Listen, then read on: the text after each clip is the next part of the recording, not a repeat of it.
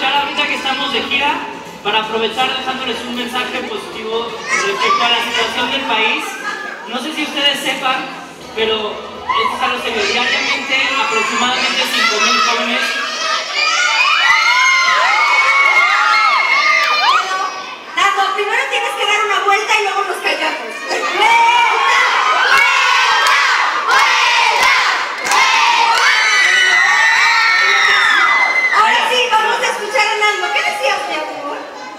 que a nivel nacional